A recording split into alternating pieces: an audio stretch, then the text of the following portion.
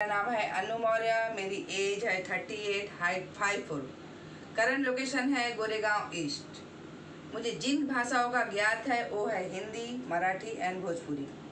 एक नज़र मेरी प्रोफ़ाइल पर।